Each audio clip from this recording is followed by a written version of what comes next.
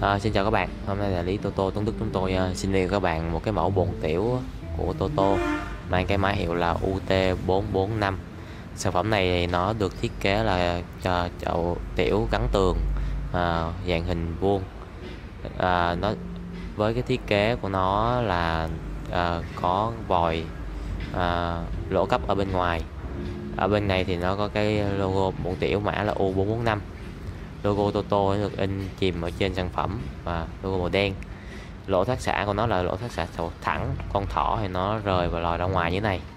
Thì cái này có thể gắn được à, van xả tiểu à, xả nhấn hoặc là các loại van cảm ứng thì phải mua thêm cái ống nối HS376 đây là cái ống nối của nó các bạn. Đó.